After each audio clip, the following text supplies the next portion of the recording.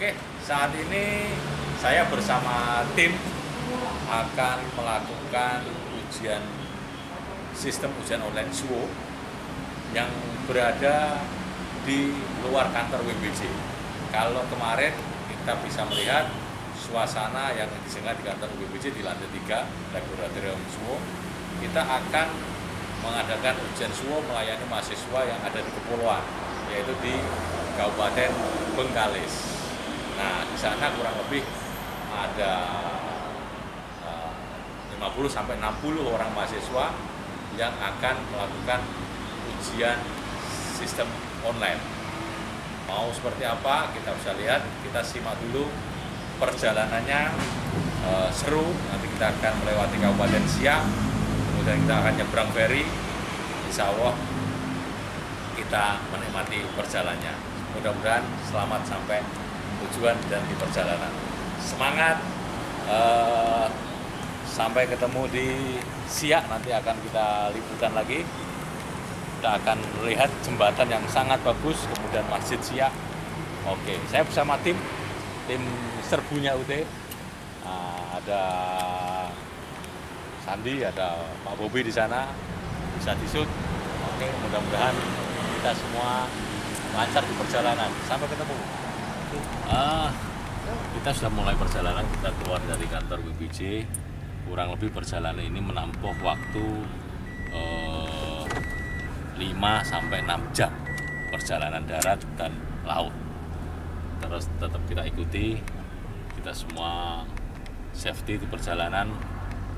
Insya Allah menarik perjalanannya, view-nya bagus, jembatannya bagus. Kita bisa lihat nanti di sepanjang perjalanan. Tim kameramen siap pokoknya. Lanjut.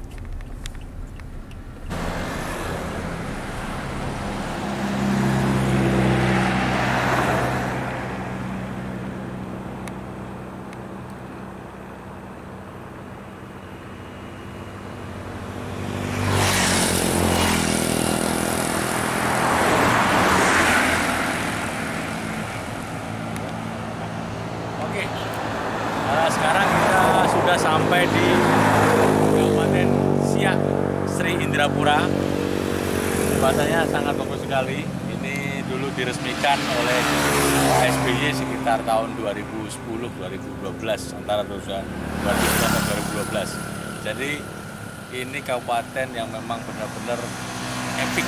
Kata kotanya bagus, jalannya mulus dan sering diadakan event sepeda internasional di kota Siak. Kurang lebih dari Siak kita menempuh perjalanan kurang lebih satu jam lagi untuk di Sungai Pakneng kemudian kita nyebrang menggunakan Roro sampai ketemu di pelabuhan Sungai Pakneng. Cuy.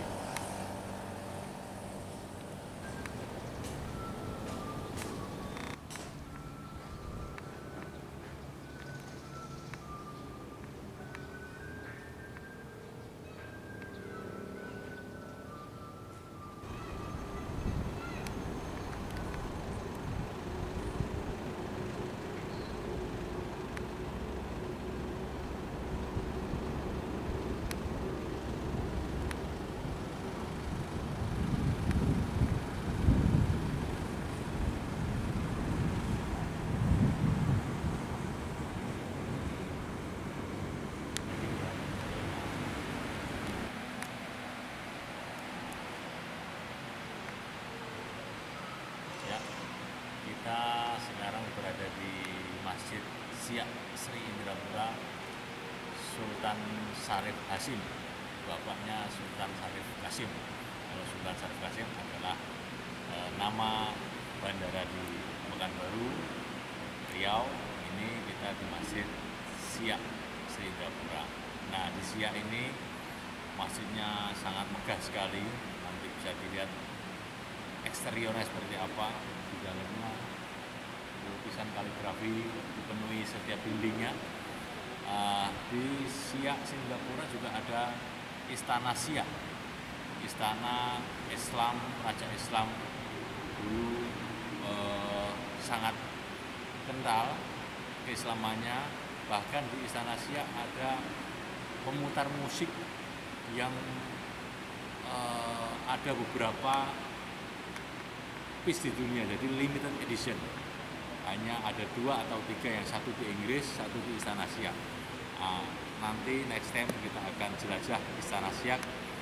Eh, saat ini kita akan melaksanakan sholat duhur di Istana Siak sehingga eh, mudah-mudahan kita sampai di eh, pelabuhan nanti kurang lebih satu jam sampai satu jam setengah lagi. Sampai ketemu di pelabuhan.